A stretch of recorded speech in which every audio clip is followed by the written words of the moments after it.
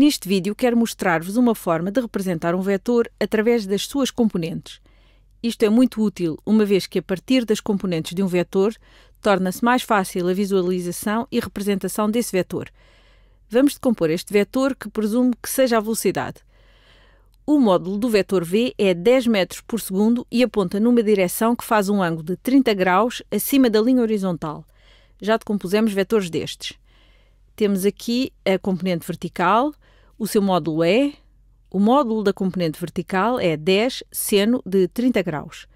É 10 metros por segundo vezes o seno de 30 graus. Seno de 30 graus. Isto vem da trigonometria básica de Só, Cá, Toa.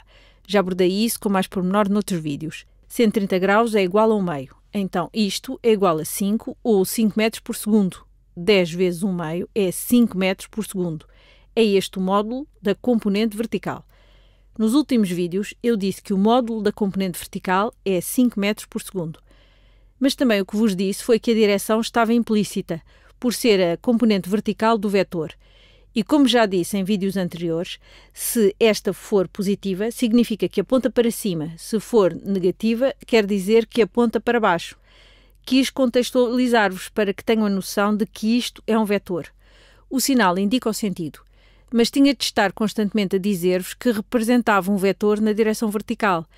E tivemos o mesmo problema quando falámos sobre os vetores horizontais. O módulo deste vetor O módulo deste vetor é 10 cosseno de 30 graus. Mais uma vez, isto é trigonometria básica. 10 cosseno de 30 graus, cosseno de 30 graus é raiz quadrada de 3 sobre 2 multiplica-se por 10 e dá 5 raiz quadrada de 3 metros por segundo. Mais uma vez, em vídeos anteriores, usei esta designação e dizia que o valor da velocidade horizontal seria este, 5 raiz quadrada de 3 metros por segundo. Mas para que não ficassem com a ideia de que isto era apenas o módulo da velocidade, estava sempre a dizer na direção horizontal, se for positivo, é para a direita, se for negativo, é para a esquerda. Neste vídeo quero dar-vos uma convenção que permita que não tenha de estar sempre a fazer isto em relação à direção e sentido, que torne tudo um pouco mais concreto. Para isso, vou introduzir o conceito de vetores unitários, ou versores. Vou começar por introduzir o versor EX. Vou desenhá-lo aqui. Vou desenhá-lo menor. O versor EX é um vetor unitário cuja direção é a direção do eixo do x e o sentido é o sentido positivo do eixo do x. E um vetor unitário é um vetor unitário é um vetor cujo comprimento ou módulo é 1. O módulo do vetor é x é 1 e a direção e sentido são os do semi-eixo positivo do x. Se quisermos especificar melhor, a componente x deste vetor devemos chamar-lhe 5 raiz quadrada de 3 vezes este vetor unitário. Este vetor verde é 5 raiz quadrada de 3 vezes este vetor unitário, porque o comprimento deste vetor unitário é 1 então fica 5 raiz quadrada de 3 vezes o vetor unitário. O que me agrada nisto é que agora não tenho de estar sempre a recordar-vos que se trata de um vetor horizontal, mais significa para a direita, menos significa para a esquerda. Está implícito aqui.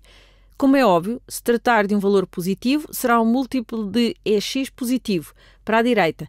Se for um valor negativo, o vetor é para a esquerda. Então, esta é uma maneira melhor de especificar, de especificar a componente x do vetor. Se eu decompusesse este vetor v, esta seria uma forma melhor de especificar a componente horizontal.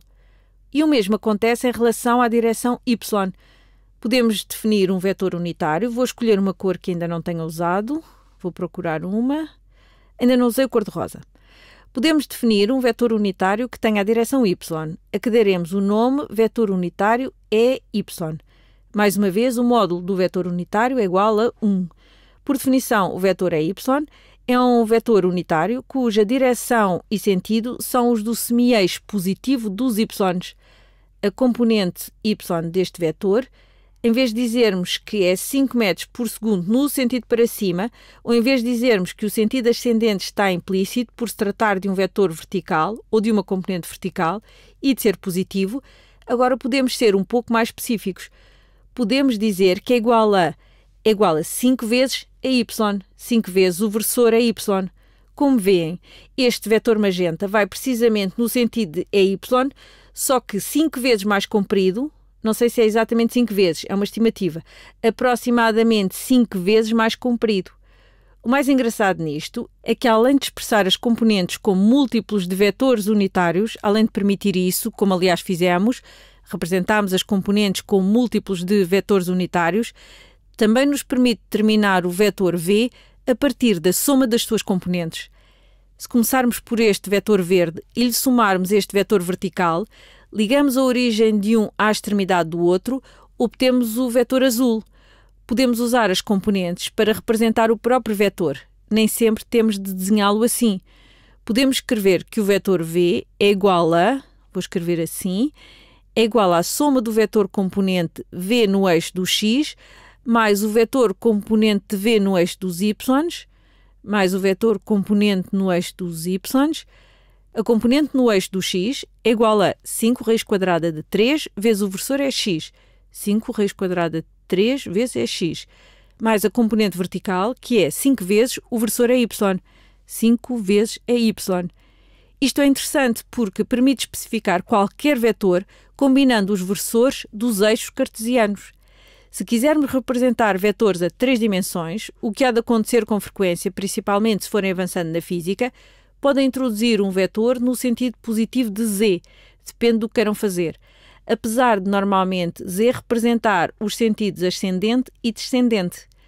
Assim, o versor EZ terá a direção e o sentido do semi-eixo positivo dos Zs e módulo 1. Aqui vou representá-lo de uma forma pouco convencional. EZ será nesta direção, embora se tenha convencionado que quando temos um vetor tridimensional, EZ é no sentido ascendente ou descendente. Mas isto por si já é espetacular, porque nos permite representar qualquer vetor através das suas componentes, o que facilitará e muito os cálculos.